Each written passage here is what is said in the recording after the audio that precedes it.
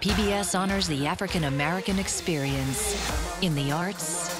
She was fearless. I had a lot to say. In history. I can't be a pessimist because I'm alive. And civil rights. How can we stay silent? We got faith. Thank you so much.